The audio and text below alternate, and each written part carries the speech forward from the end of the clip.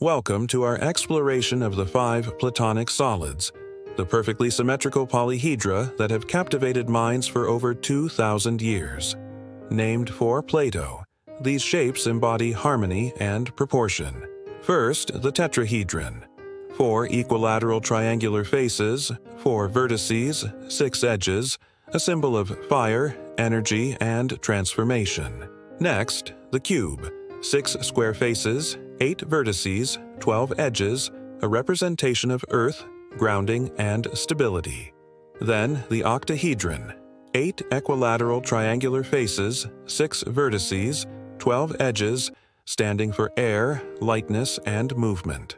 The dodecahedron features 12 regular pentagonal faces, 20 vertices, and 30 edges, Plato's model of the cosmos, the ether.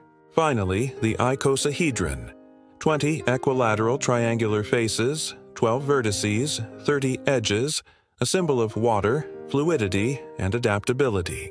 Remarkably, only five regular polyhedra can exist in three-dimensional space. Euler's formula, V minus E plus F equals 2, established by Leonhard Euler in 1758, tightly binds faces, edges, and vertices, ruling out any others. These Platonic solids remind us of the elegance and unity found in mathematics. Thanks for watching, and be sure to subscribe for more geometry insights.